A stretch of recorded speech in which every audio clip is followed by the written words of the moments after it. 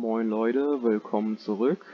Und heute erkläre ich euch dann, habe ich ja im letzten Video schon angekündigt, wie ihr ein Inventar von einem Block machen könnt, eine sogenannte GUI. Dafür gehen wir als erstes wieder auf Plus, wir machen jetzt von dem Block hier ein Inventar, den haben wir ja im letzten Tutorial erstellt. Auf Plus, dann gibt es hier den Punkt GUI, dann geben wir dem Ganzen wieder einen Namen, wir geben dem einfach den Namen Testblock. Und dann GUI, so, Create New GUI und dann sind wir hier auf einem neuen Fenster. Und hier seht ihr sozusagen schon die Oberfläche, wie das am Ende aussehen soll. Hier haben wir, wie bei zum Beispiel einer Minecraft-Karte, ein quadratisches Feld.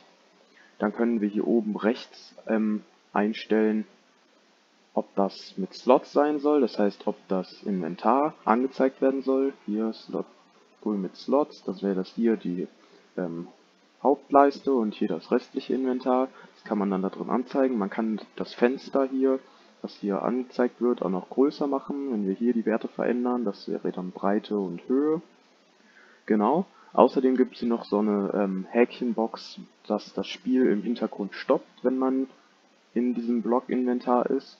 Oder ob ähm, der Hintergrund sich auch bewegen soll. Das wäre dann Render Background Layer.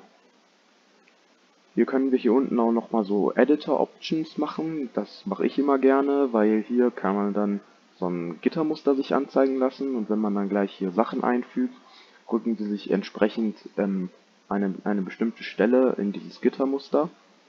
Hier kann man das Gittermuster sonst auch noch einstellen und ich finde das halt immer ganz praktisch, dann sind die Elemente automatisch immer in einer Linie, denn sonst, ähm, man kann die auch frei da reinziehen.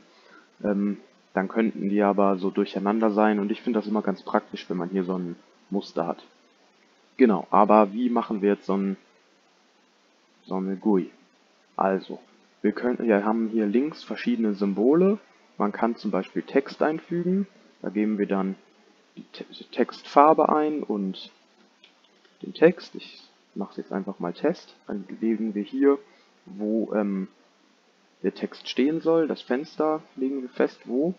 Das ähm, seht ihr jetzt hier, der rastet so ein, wegen dem, hier unten wegen dem Gittermuster. Beim, wenn man das hier wegmachen würde, so, dann könnte man es auch überall platzieren. Aber so hat man halt das Gittermuster und dann kann man hier genau im Raster bleiben. So, und wenn wir das hier mit Linksklick platziert haben, steht jetzt hier Test. Und so sähe das dann auch im Spiel aus. Wenn wir den Block mit Rechtsklick aktivieren, sehen wir dieses Fenster hier im Spiel und da steht dann hier oben Test. Hier gibt es noch einen zweiten Punkt, das wäre dann so ein Button. Da können wir auch was draufschreiben. Ich schreibe jetzt einfach mal Test 2.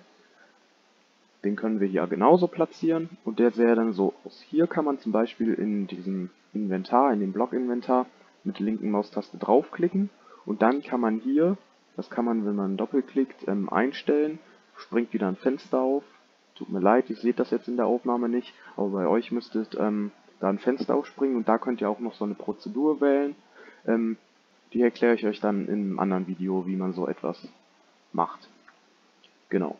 Dann könnt ihr hier noch ähm, Texturen einfügen, sogenannte Bilder. Die könnt ihr ähm, unter hier Workspace und Resources, da könnt ihr dann, wenn ihr hier ähm, zum Beispiel eine Textur wieder macht, ich mache jetzt einfach mal eine 16x16, wenn ihr dann hier was malt, so,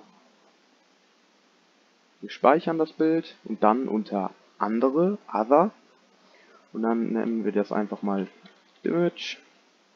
Okay, und jetzt hat er das hier gespeichert.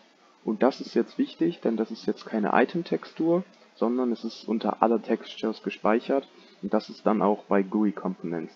Und die können wir jetzt hier einfügen, wenn wir wieder in unseren Slot gehen, können wir hier auf die Bilder klicken, unser Bild auswählen und das hier auch platzieren. Das war jetzt eine 16x16 Grafik, deswegen ist das auch nur hier ein so ein quadratisches Kästchen, so groß wie so eine Schrift ungefähr, so ein Schriftfeld.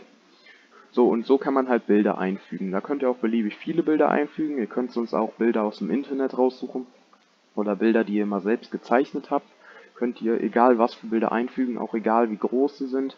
Die könnt ihr hier alle einbinden. Ihr müsst sie dann nur unter Workspace, Ressourcen und dann hier unter Import Texture müsst ihr die dann importieren und dann Other Textures auswählen. Der nächste Punkt wäre dann hier ein Input Name. gebe ich jetzt auch mal Test ein. Und da könnt ihr dann sozusagen was reinschreiben im Spiel. Da kann der ähm, Nutzer dann das anklicken und dort Text reinschreiben. Dann ist das nächste hier Input Slot. Das wäre dann, da muss man dann Slot ID festlegen. Ich nehme einfach mal Standardwert 0. Da kann man auch noch Prozeduren einfügen. Und das wäre dann wie ein ganz normaler Minecraft-Slot. Dasselbe gibt es auch nochmal als Output-Slot. Und da ist sozusagen, hier kann man was reintun und hier was rausnehmen, In- und Output.